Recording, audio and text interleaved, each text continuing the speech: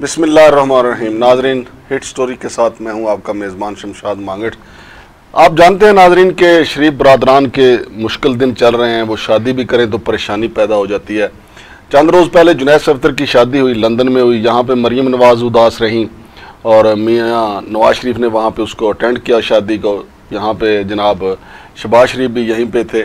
لیکن اس شادی میں سے جو خاص بات نکلی ہے، ویسے محسوس تو اسی دن ہو گیا تھا، جس دن جنید صفتر نے دو بڑے ہی دل کو دکھا دینے والے گانے گائے تھے، کیونکہ شادی پہ خوشیوں بھرے گانے گائے گائے جاتے ہیں، نہ کہ دکھ بھرے گانے، کیونکہ پہلا گانا جب انہوں نے گنگنایا، جس کا جو انڈیا کی ایک فلم کا گانا ہے، کیا ہوا تیرا وعدہ، وہ قسم، وہ ارادہ، اس سے ظاہر ہوتا تھا کہ موصوف کسی کو پیغام دے رہے ہیں۔ پھر اس کے بعد جو دوسرا انہوں نے سیف الملوک پڑھی، جو ہم اوتکی پہ یہ خاص طور پہ پڑھی جاتی ہے، دفنانے کے بعد کسی کو، لے یار حوالے رب دے۔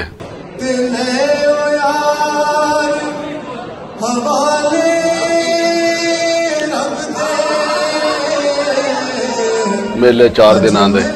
تو یہ جب انہوں نے گنگنایا ویسے تو وہ چیمن گوئیاں تو اس وقت بھی ہوئی۔ لیکن اب باضابطہ طور پہ ان کی جو اہلیاں عائشہ سیف سیف الرحمان کی بیٹی انہوں نے از خود نوٹس اس پہ لیا۔ انہوں نے کہا کہ یہ پیغام کس کو دیا ہے؟ اور اچھی خاصی اندر کھاتے لڑائی چل رہی ہے۔ چونکہ عائشہ سیف کا یہ کہنا ہے کہ موصوف جو ہیں وہ پہلے سے کسی کو دل دے بیٹھے تھے۔ تو مجھے تو بچا کچھا مال ملا ہے۔ جبکہ میں نے جو تحقیقات کی ہیں کہ جنید صفتر جو ہیں وہ مسلم لیگ نون کے ایک سینئر رہنما ہیں، بڑے دبنگ سیاستدان ہیں۔ ان کی بیٹی کے ساتھ شادی کرنا چاہتے تھے اور ان کی بیٹی بھی چاہتی تھی کہ ان کے ساتھ شادی ہو جائے، لیکن نہ تو وہ دبنگ سیاستدان راضی تھے اور نہ ہی محترمہ مریم نواز اس شادی پہ راضی تھی۔ لہٰذا یہ لندن میں جو شادی کر دی گئی تاکہ دونوں طرف سے وہ لائن ہی کٹ جائے۔ مگر جنید صفدر نے جو دونوں گانے گائے، انہوں نے وہ پیغام دیا کہ میں اس شادی پہ راضی نہیں ہوں، وہ قسم، وہ ارادہ انہوں نے یاد کروایا۔ پھر انہوں نے کہا کہ لے یار، حوالے رب دے، میلے چار دن آندے لیکن اب چونکہ عائشہ سیف اس پہ بڑی تپی ہوئی ہیں، بڑی ناراض ہیں کہ میری شادی پہ انہوں نے اپنی کسی سابقہ حسینہ کو پیغام دیا ہے، تو معلوم یہ ہوا ہے کہ خطہ پٹھوار سے تعلق رکھنے والے بڑے جرت مند سیاستدان ہیں۔ وہ قطعی طور پہ نہیں چاہتے تھے کہ یہ رشتہ ہو۔ اور اسی طریقے سے چونکہ آپ کو پتہ ہے، مریم نواز جو ہے، وہ بھی پچھلے کئی سال سے ہر وقت غصے میں ہی رہتی ہیں، چونکہ وہ اسٹیبلشمنٹ کے خلاف تقریریں کرتی رہتی ہیں۔ یہ معاملہ جب ان کے سامنے آیا تھا تو انہوں نے بھی یکدم نو ہی کر دی تھی۔ جس طرح وہ یہ کہتی رہتی ہیں، این آر او نہیں ہوگا، اسی طرح انہوں نے کہہ دیا یہ شادی بھی نہیں ہوگی۔ تو یہ بیل منڈے نہ چڑھ سکی۔ تو اب معاملہ یہ ہے کہ مسلم لیگ نون کے اندر یہ کافی باتیں ہو رہی ہیں کہ جنید صفدر نے جو گیت گائے ان کو نہیں چاہیے تھا کہ اس موقع پہ یہ گیت گاتے۔ لیکن انہوں نے پوری دنیا کو بتا دیا کہ ان کے ارادے کیا تھے، ان کی قسمیں کیا تھیں، ان کی وفائیں کہاں تھیں، اور وہ کہاں اپنا دل دینا چاہتے تھے اور وہ کہاں اپنی شادی کرنا چاہتے تھے۔ اور دوسری طرف عائشہ سیف جو ہیں انہوں نے بھی اس کے اوپر برملا ناراضگی کا اظہار کیا انہوں نے اپنے والد محترم جناب سیف الرحمان سے کہا ہے کہ یہ میرے ساتھ دھوکہ ہو گیا ہے۔ اور اب دونوں خاندانوں میں یہ چپکلش جاری ہے۔ محترمہ مریم نواز جو ہیں، وہ معاملے کو ٹھنڈا کرنے کی کوشش کر رہی ہیں۔ میاں نواز شریف صاحب بھی کوشش کر رہے ہیں کہ معاملہ ٹھنڈا ہو جائے۔ لیکن مصدقہ اطلاعات ہیں کہ ان دو گانوں نے مسلم لیگ نون کے اندر ایک نئی پریشانی، ایک نیا جو ہے وہ تنازع کھڑا کر دیا ہے۔ کہ یہ گیت کیوں گائے گئے اور کس کے لیے گائے گئے؟ پتہ سب کو یہ ہے کہ کس کے لیے گائے گئے اور کیوں گائے گئے۔ لیکن موقع ایسا تھا کہ جس موقع پہ گائے گئے۔ لیکن اگر یہ واقعی ایک فلم ہوتی تو پھر تو جنید صفدر نے کام ٹھیک کیا ہے۔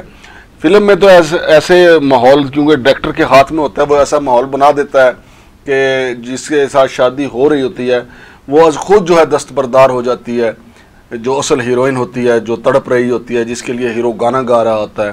اور وہ دو دل جو ہیں وہ مل جاتے ہیں، لیکن یہ ریئل لائف ہے، حقیقی زندگی اس میں ایسا نہیں ہے۔ اس کا ڈائریکٹر میرا اللہ تعالیٰ ہے اور اللہ تعالیٰ جہاں جی- جی- جس کا جوڑا بنا جاتا ہے، وہاں پہ ہو جاتا ہے۔ یہاں پہ چونکہ معاملہ ایسا تھا کہ ظالم سماج کی شکل میں وہ دبنگ سیاستدان اور مریم نواز جو ہیں وہ پیش پیش تھے اور انہوں نے برملا اظہار کر دیا تھا کہ یہ شادی نہیں ہو سکتی۔ اور لہٰذا امریش پوری کا کردار جو ہے وہ اس دبنگ سیاستدان نے ادا کیا اور مریم نواز جو ہیں وہ، انہوں نے بھی وہاں پہ ایک جو ہے مشکل عورت کا کردار ادا کیا ہے۔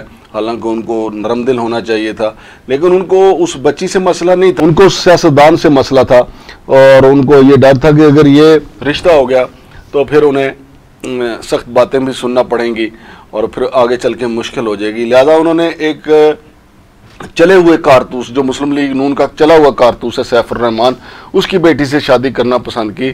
لیکن جنید صفدر کے دونوں گانوں نے ایک انہوں نے جو سیف الملوک پڑھی اس نے اور دوسرا انڈیا کا جو گانا انہوں نے گایا، دونوں نے جو ہے وہ ایک نئی صورتحال کو جنم دیا آپ دیکھتے ہیں کہ مریم نواز صاحبہ اور میاں نواز شریف صاحب اس پہ کس طرح قابو پاتے ہیں۔ تو یہ تازہ ترین تھی مسلم لیگ نون کے حوالے سے۔